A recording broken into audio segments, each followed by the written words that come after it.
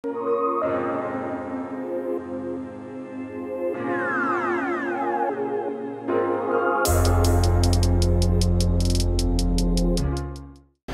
going on guys and welcome back to the channel.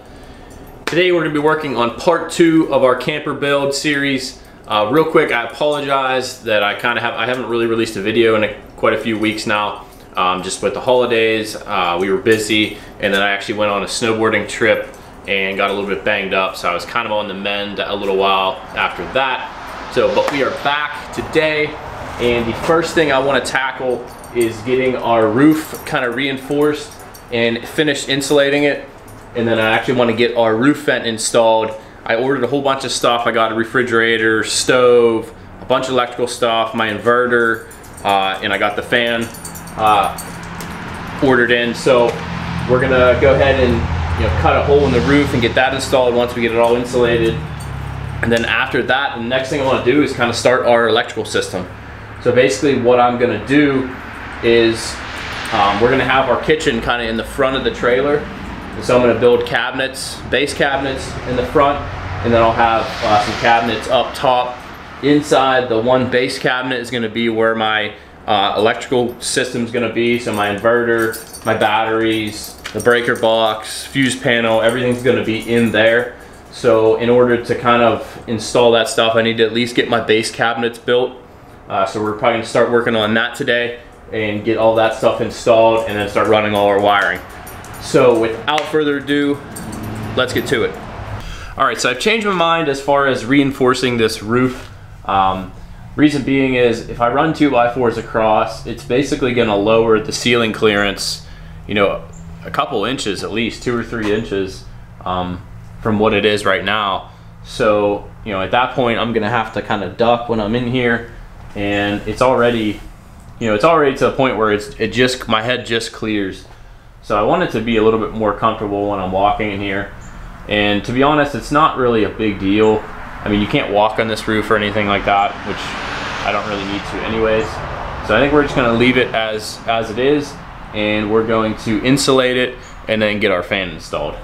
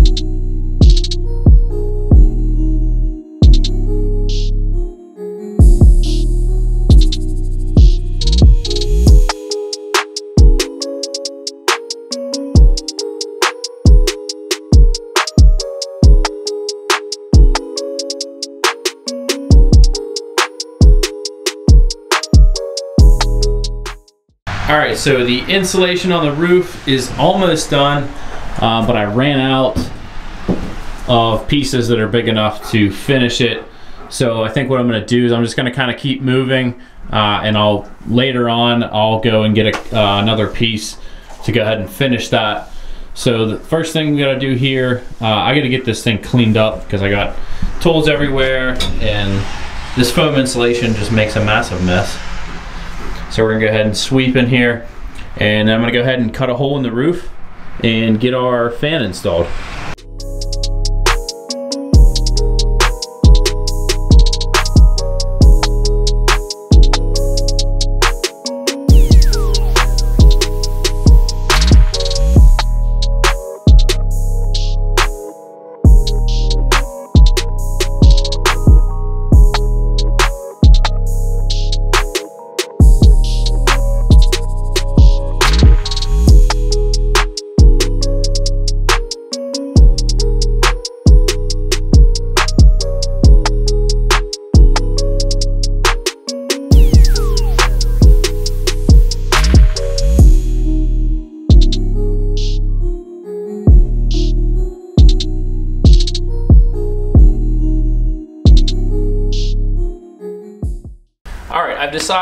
Again we're gonna change course. I kind of made an executive decision because it's snowing pretty bad that I don't want to cut a hole in the roof because then I can't seal it. So then it's just gonna be leaking into the trailer. So we're gonna wait and do that another day, maybe tomorrow, we'll see. Um, so what I wanna do then is get started on building our front base cabinets. That way we can, we have a place to install all of our electrical components. So let's go ahead and get started on that.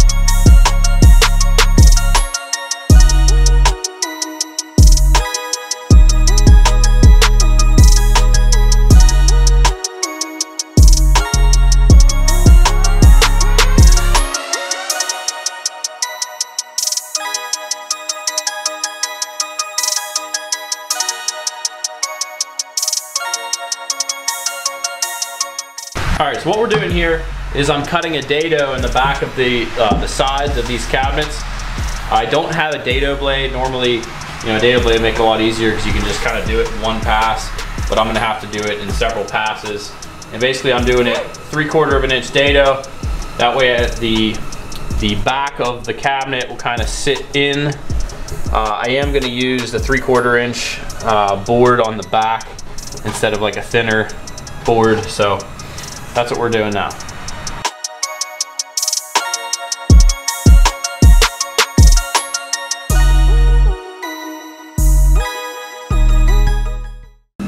So I would definitely recommend getting a dado blade to cut dados. Because otherwise, it sucks.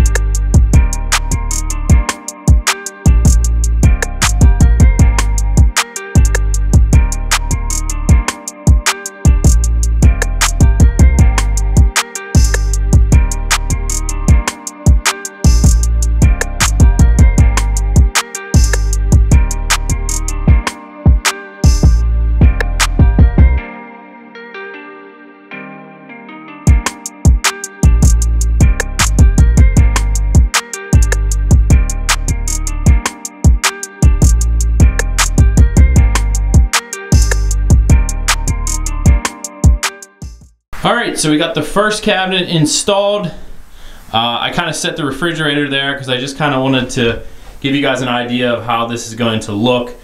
We're gonna have all our electrical components inside of this cabinet. So our inverter, um, you know, our solar charger, our solar charge controller, uh, fuse box, breaker box, everything's gonna be inside of here. I think I'm going to actually put the battery box on the outside of the trailer. I'm gonna build a box and then just run the cables to the inside to kind of save some space. And then I'm gonna have, I think I'm gonna have the stove sitting on top of this cabinet.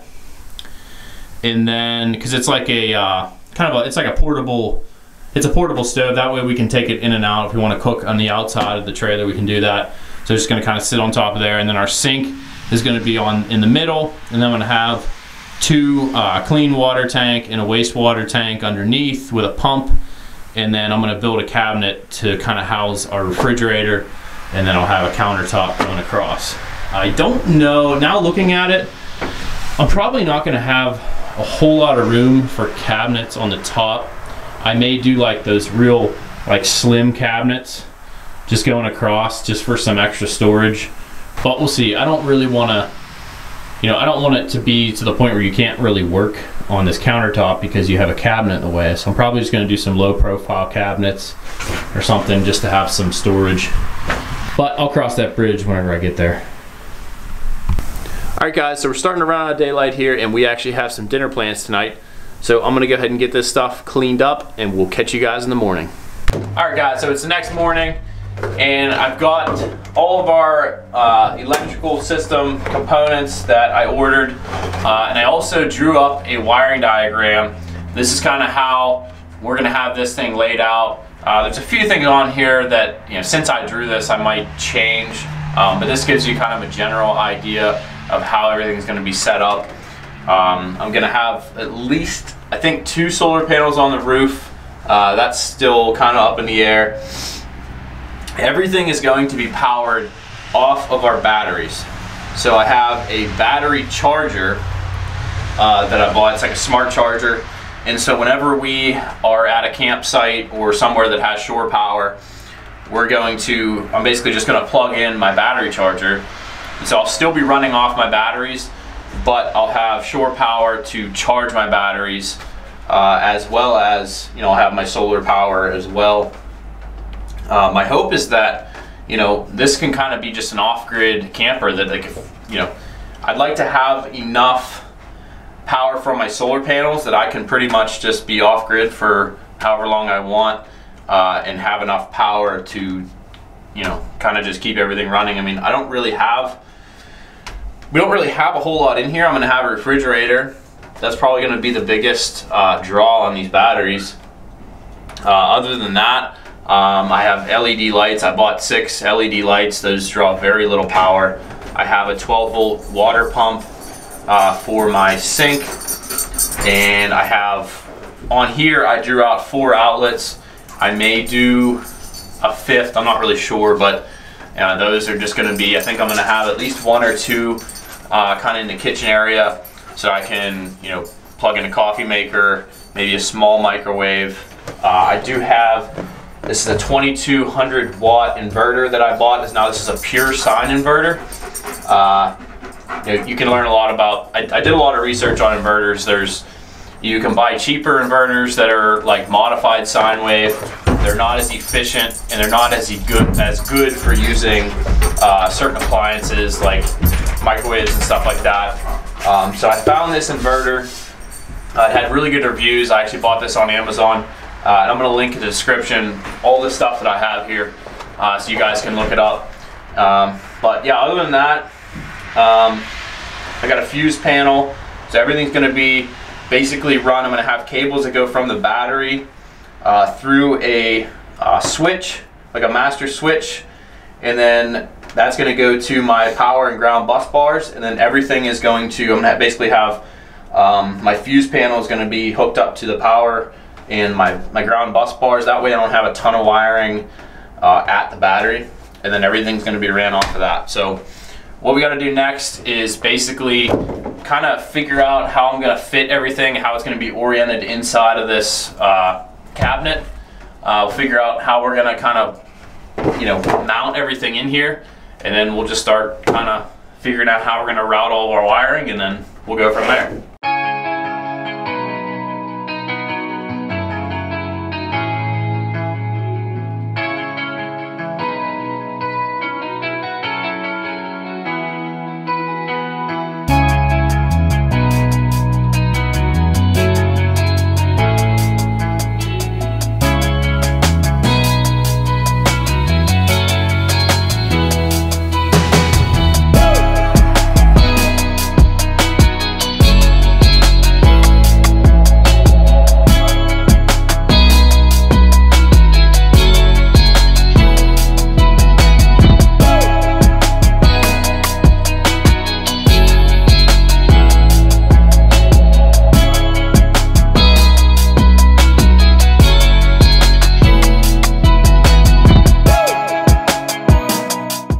We got everything mounted in here the way we want it. Um, so the next step is gonna be uh, drilling our holes because uh, I'm gonna put my batteries on the outside. I'm gonna build a battery box to house those. So I'm gonna run my cables through the front of the trailer here. So I'm gonna drill uh, a two inch hole through the back of the cabinet and then also through the front of the trailer. And then I gotta get some grommets so that I can run my cables through there. And I'm gonna do another two inch hole on the side here through the cabinet and through the side for my shore power outlet. So let's go ahead and do that.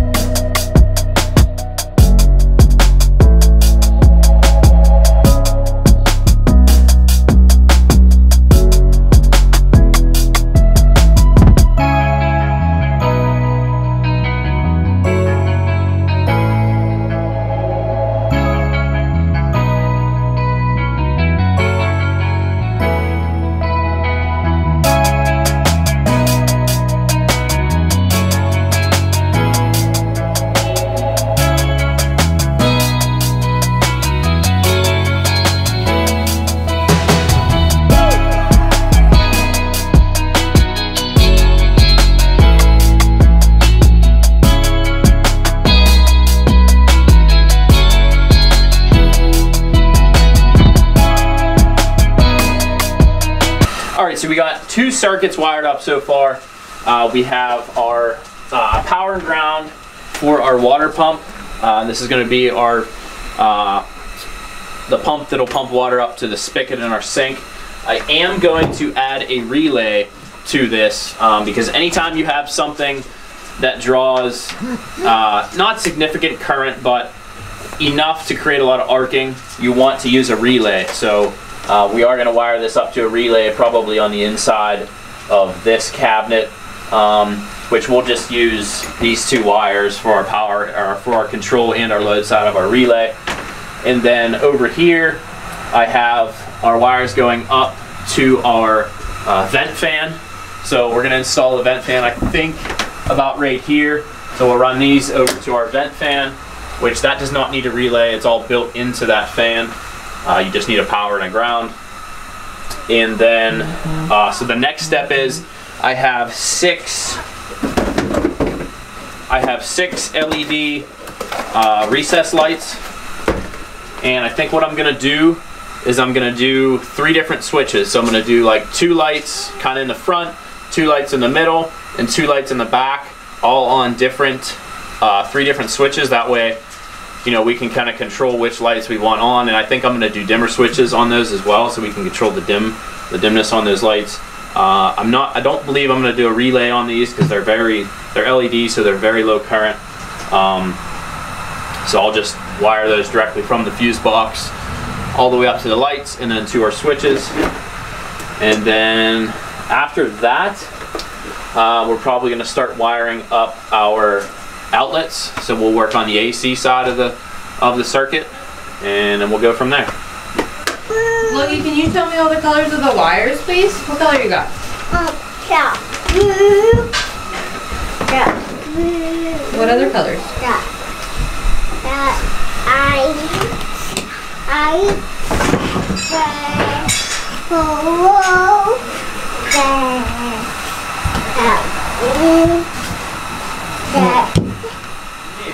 orange.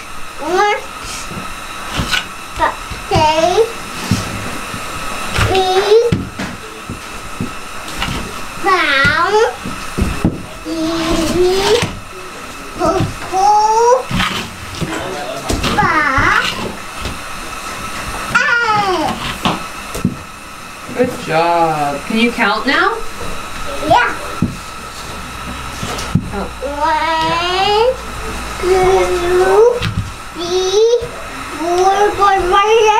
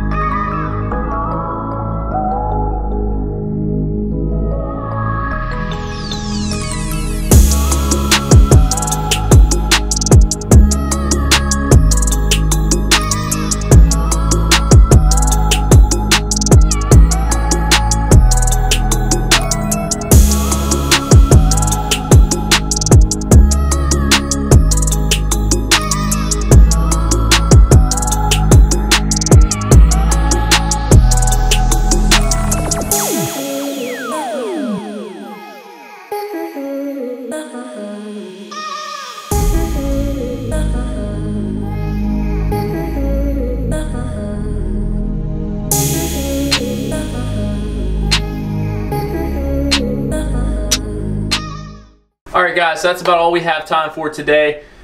Uh, fortunately, we were able to get you know most of our uh, roof insulated. We got you know pretty much everything installed inside of our cabinet, uh, our inverter, our charger, uh, breaker box, fuse panel, and we got most of our 12 volt system wired up. Still have to wire up some switches for our lights. Uh, I always, obviously have to get the lights installed and get our fan installed. Uh, I want to order a few things. I got to get a, a, couple bus bars. I want to get a receptacle for uh, the outside of the trailer over here for hooking up to shore power. I also have to get some metal so that I can build a battery box. Uh, so we have quite a bit of things to do still uh, as far as our electrical system goes, uh, but we're definitely chipping away at it. So once again, guys, thank you for watching. Thank you for liking, commenting, subscribing, and we will catch you next time.